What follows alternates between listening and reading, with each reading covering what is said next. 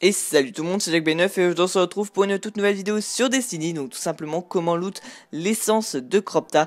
Donc je pense qu'énormément de gens se posent des questions sur comment la loot, est-ce que les loots sont à peu près les mêmes que euh, ceux de l'exégèse? Et bien moi tout simplement je vais répondre à vos questions grâce au site Planet Destiny, donc qui est un site qui rassemble énormément d'informations sur Destiny. Donc ce site m'a permis euh, de, réaliser beaucoup de mes vidéos sur Destiny. Donc vraiment un site que je recommande et que je crois même qui est recommandé par Bungie et officialisé la plupart du temps par Bungie sur certains sujets et topics. Il donne aussi beaucoup d'informations sur les DLC ainsi que plein d'autres choses. Donc vraiment un très très bon site et très complet. Et tout simplement ils ont posté un topic. Donc avec une personne qui a donc réussi à loot cette fameuse essence de crop tie qui a réussi à améliorer l'apparition alliée en nécrochasme.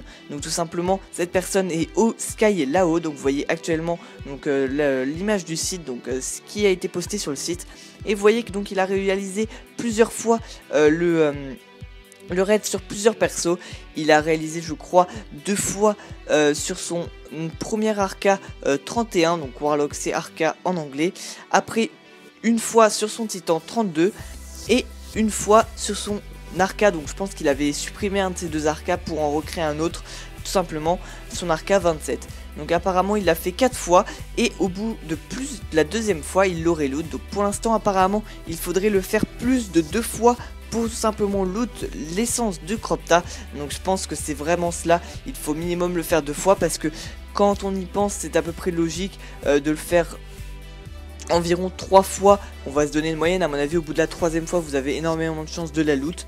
Donc voilà. Donc je pense que tout cela a, de quoi être vrai. Donc après, ce qu'on ne sait pas, c'est s'il faut le faire plus de deux fois sur un seul et même personnage ou tous les personnages confondus, donc tous vos, tous vos persos confondus, en gros, est-ce que vous pouvez le faire euh, tout simplement? Donc euh, une fois sur votre titan, une fois sur votre arca, une fois sur votre chasseur, hein, je prends l'exemple de ça, et après la semaine d'après le refaire sur le titan et loot sur le titan, ça on ne sait pas encore, donc ça on le saura de façon à l'avenir, mais par contre ce qu'on sait d'ores et déjà, c'est qu'il faut avoir fait le raid en entier en hard avec tout simplement la couleur. Ça c'est une étape primordiale. Si vous voulez augmenter vos chances, ça ça a été dit et redit, il faut absolument faire le raid en entier avec la couleur et en hard. Donc en gros, il ne faut pas sauter une étape ou autre, vous pouvez les glitcher si vous voulez, ça bien sûr, ça euh, ils peuvent pas le remarquer. Mais bien sûr, il faut le faire impérativement avec la couleur et en entier. Donc même faire l'étape euh, de la prêtresse Utir. Donc même si je sais que euh, si vous le faites en 30, vous ne lootez pas en hard.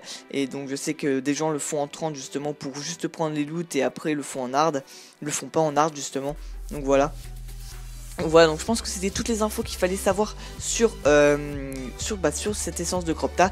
Vous avez vu au passage aussi l'image du profil Bungie euh, de la personne. Donc tout sera dans la description pour que vous puissiez aller voir par vous-même, lire l'article par vous-même, car il est encore plus complet. Là, je vous ai seulement montré donc, la partie la plus intéressante pour moi, donc celle qui explique vraiment les loots. Mais vous avez bien sûr euh, tout l'article complet dans la description.